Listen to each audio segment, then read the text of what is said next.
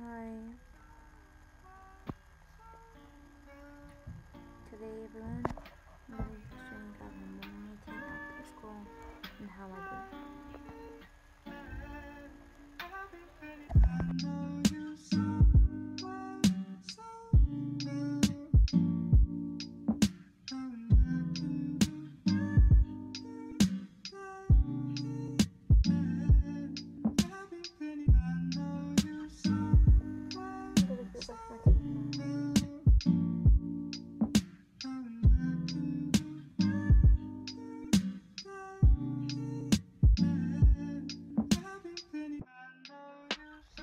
I'm gonna get some.